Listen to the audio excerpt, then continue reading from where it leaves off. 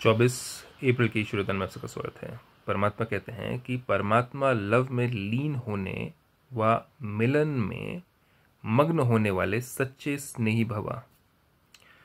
स्नेह की निशानी गाई जाती है कि दो होते भी दो ना रहें, लेकिन मिलकर एक हो जाएँ। दो प्रेमी जब मिलते हैं तो वो एक हो जाते हैं। मतलब उनका मन, उनके सोच, उनकी बुद्धि एक हो जाती है। सोलमेट जिनको हम कहते हैं। आत्मा की बात हो रही है यहाँ पर।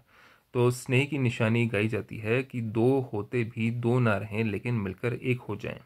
इसको ही समा जाना कहते हैं कि वो उसके प्रेम में समा गया।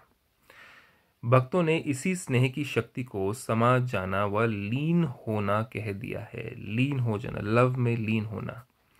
लव में लीन होना यह स्थिति के, स्थिति है, लेकिन स्थिति के बदले उन्होंने आत्मा के अस्तित्व को सदा के लिए समाप्त होना समझ लिया है कि परमात्मा के टुकड़े होकर के हम नीचे आए और हम फिर से जाकर के परमात्मा के अंदर जाके बस जाएँगे, मिल जाएँगे। परमात्मा ने कहा है, खुलासा किया है कि ना मैं आत्मा टुकड़ों में बढ़ जाती हूँ, क्योंकि मैं अमर, अजर, अविनाशी हूँ। यह आत्मा का अस्तित्व या उसकी क्वालिटीज़ या उसकी स्ट्रेंथ कि वो अमर है, अजर है, अविनाशी वैसे परमात्मा भी अमर, अजर, अविनाशी है। वो टुकड़ों में बढ़ते नहीं हैं और हम उनके टुकड़े नहीं हैं। तो हम आत्माएँ भी टुकड़े टुकड़े नहीं होती हैं और हम जाकर के टुकड़े परमात्मा के अंदर घुस नहीं जाते हैं। तो परमात्मा कहते हैं, मेरा अस्तित्व अलग है, मेरी मन बुद्धि संस्कार अलग है, तुम आत्माओं के मन बुद्धि संस्कार अलग है। तुम्हारा मन बुद्धि संस्कार जब मुझसे मिल जाता है मेरे प्रेम में तब तुम मेरे प्रेम में लीन हो जाते हो।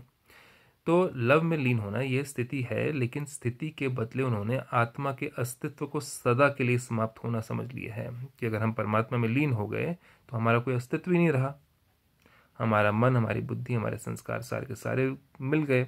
अब कुछ लेना ही नहीं रहा, अब हमारा अस्तित्व मिट गया। आप बच्चे, जब बाप के व रूहानी माशूक के मिलन में मग्न हो जाते हो तो समान बन जाते हो।